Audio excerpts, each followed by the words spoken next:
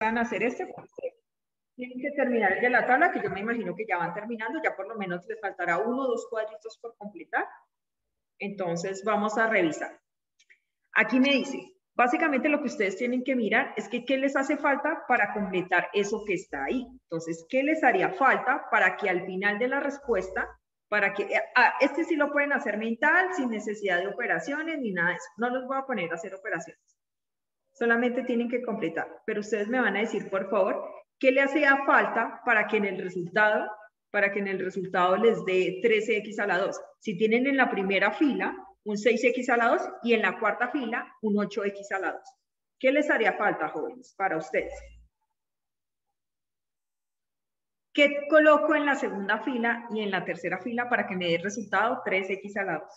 ¿Qué creen que debo colocar? Primero que todo sumo, ¿no? Sumo. 6 y 8, ¿cuánto me da? 14.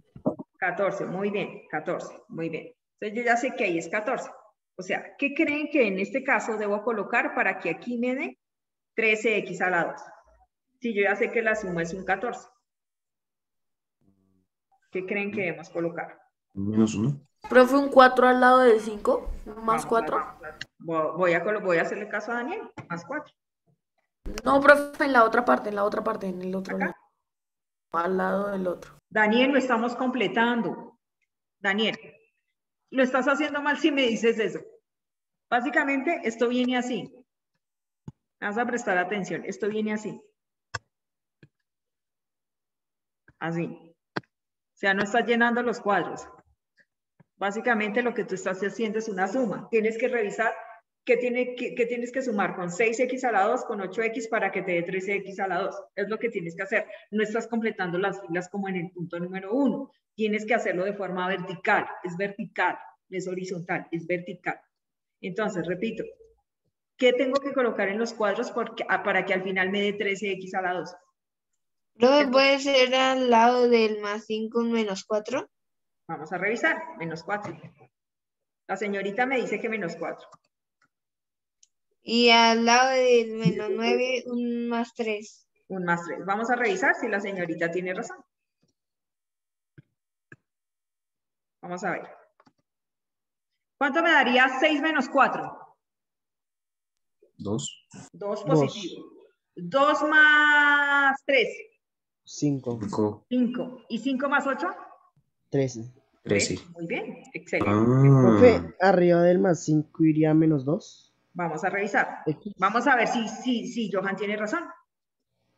Vamos a revisar. Lo que tiene que ser coherente es que cuando ustedes hagan esta operación acá, les tiene que dar 13x a la 2. Si les da 13x a la 2 está súper bien. 6 menos 4 daría 2, 2 más 3 daría 5, 5 más 8 daría 3. Muy bien, hasta ahí vamos bien. Vamos a ver si Johan tiene razón. Vamos a ver si Johan tiene razón. No sé, creo que no. Vamos a ver. Entonces, más, más, tú me dices más 2 o menos 2. Menos 2, pero creo menos que 2. Johan me dijo menos 2x. Menos 2 más 5, ¿cuánto me daría? 3 positivo, ¿cierto? 3 positivo menos 9, ¿cuánto me daría? Menos 6 negativo menos 6 negativo, menos 5 me daría menos 11. No, no puede ser. Entonces sería más 2 positivo, profe. Más 2 positivo, vamos a revisar. 2 y 5 darían 7. 7 menos 9. 2. 2, muy bien, 2 positivo. 2 positivo. Ah, no, 2 negativo, perdón, 2 negativo. 2 negativo menos 5. 7 positivo. No. No. 2 y 5 lo, vamos a, hacer acá. 2 y 5 darían 7 positivo, ¿cierto? 7 positivo. Menos 9 darían 2 negativo. 2 negativo menos 5 daría menos 7 negativo. ¿Y cómo me tiene que dar? Menos 7 positivo. La respuesta hubiera estado bien, la de Johan, si hubiera sido 7 negativo. ¿Qué coloco en la parte de arriba para que me dé menos 7 positivo? Profe, yo creo que podría ser 16. Vamos a revisar si la señorita tiene razón. ¿Positivo o negativo? ¿Positivo o negativo? Positivo. Vamos a revisar si tiene razón. Entonces, tenemos 16 más 5, eso me daría 21, ¿cierto? 21 menos 9, ¿cuánto me daría eso? 10 y qué? 10 y qué? 21 12. menos 9. 12, muy bien. 12. 12 menos 5, 7. 7, muy bien, Charit, tiene toda la razón. Ahí era 16 positivo. Ahora, ¿qué resultado para que me dé menos 13? ¿Quién me dice? En las dos casillas de ahí. Cuatro. ¿Cuatro en dónde?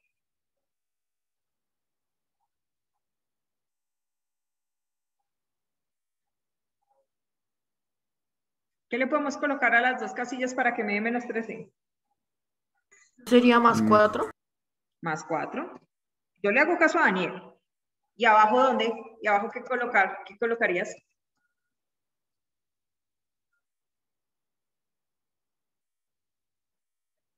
Aquí, ¿qué colocaremos?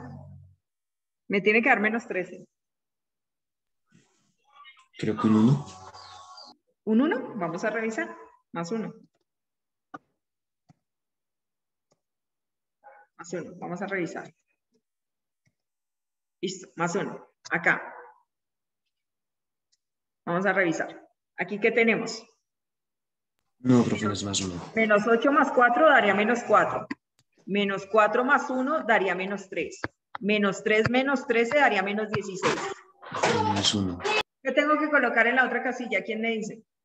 Cuatro, otro más cuatro. Otro más 4. Muy bien, Daniel. Vamos a revisar si Daniel tiene toda la razón. Si ustedes se ponen a mirar para que se anule, si ustedes ven, aquí ya tiene que la respuesta dar 13 y aquí ya tenemos un 13. O sea que lo que tenemos, lo que teníamos que hacer es anular ese menos 8. Ya se van a dar cuenta. Menos 8 más 4 daría menos 4. Menos 4 más 4 daría 0, ¿cierto? Y 0 menos 13, ¿cuánto nos daría? Menos 13. Trece. Esa sería la respuesta. Eso es lo que tienen que hacer ahí. Pura lógica, nada más. Pura lógica. Eso es lo que tienen que hacer ahí. ¿Listo? Ya les ayudo con el último.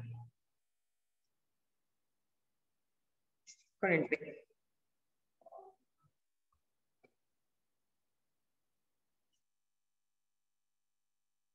Aquí arribita hay 3x alados. ¿Cierto? Aquí está vacío. Aquí lo voy a colocar así. Y aquí está vacío. Y aquí hay 9x a la 2. Y el resultado me tiene que dar 13x a la 2. Igualito que el anterior. Por favor, revisen que si está bien copiado. Por favor. Revisen que esté bien copiado. Sería menos 3x. Sería menos 9 tiene que dar menos 7. Listo. Y aquí está, suelto. ¿Cierto? Aquí tiene que ser más 7. Aquí tiene que ser menos 22. Y aquí más 22. ¿Cierto? Y aquí estás. Y aquí está suelto. Y aquí está suelto. Listo. Rapidísimo, jóvenes. Para que me dé más 13, ¿qué debe ser en la segunda y en la tercera casilla? Si tenemos un 3 y un 9. ¿Quién me dice? Rápido, rápido. Profe, ahí podría ser más 5 y menos 4. Más 5 y menos 4. Me dice Charit, vamos, este Charit, a ver. Menos 4x alados. Listo. Vamos a revisar así súper rápido. Regálenme en dos minuticos y ya los dejo ir. 3 más 8, 3 más, 3 más 5, perdón, daría 8. Menos 4 daría 4, ¿cierto? Más 9, ¿cuánto me daría? 13, muy bien, Charit, excelente. En la segunda, ¿qué puede ser? ¿Quién me dice? Para que me dé menos 7. Para que me dé menos 7. Rápido, jóvenes, que ya vamos a ter ya terminamos la Profe, eh, más 9. Más 9. Vamos a revisar si la señorita Charit tiene razón. Más 9x. Más 9x. Vamos a revisar. Aquí sería 9 menos 4 daría 5. 5 menos 3 daría 2.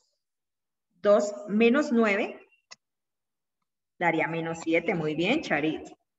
Muy bien. Y en el último, para que me dé, para que me dé menos 22, ¿cuál debe ser en la siguiente? Más 5. Abajo del sitio creo que iría más 5. Más 5. ¿Y aquí cuánto? Más 10. Más 10. Tiene que darme más 22. ¿Están en desacuerdo con Sergio? Vamos a revisar. No, profe, está mal. Está mal. eso. ¿Quién Creo me que está dice, mal. por favor, otra persona que no sea Sergio? Bueno, les voy a ayudar. Aquí puede ser, en este caso tiene que darme más 22. Vamos a revisar si Sergio tiene razón. Eh, aquí sería 7 y 5 darían 12. 12 más 10 darían 22. 22 menos 22 daría 0. No, está mal. Yo tengo, yo tengo una. Dime, Charit. Eh, Charit. más 29 y menos 7. Más 29 y menos 7. Vamos a ver si Charit tiene razón. Eh, 7 más 29, eso daría 36, ¿cierto? 36 menos 7, eso me daría, no, 36 menos 7, eso me daría mm, 29, ¿cierto? 29. Sí. 29 menos 22, eso daría 4. 6, perdón. No, esa no es. Otra, rápido.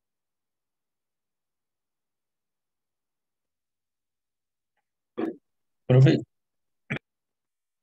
Dime. eh, yo decía la misma de Sergio,